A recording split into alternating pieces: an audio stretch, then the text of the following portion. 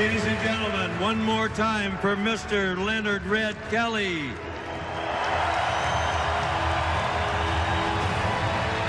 This concludes the evening ceremony. We thank you for joining us for this historic occasion. And that you'll join us shortly as we write another chapter in the Red Wings Maple Leafs Original Six rivalry.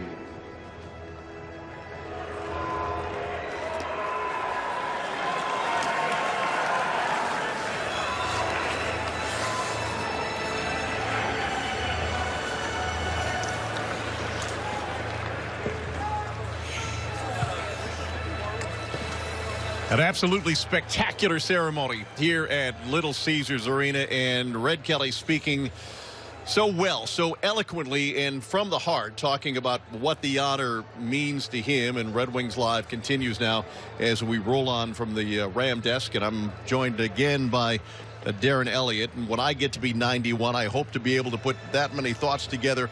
When I get to be 71, like you are, Darren, I hope to be able to put that many thoughts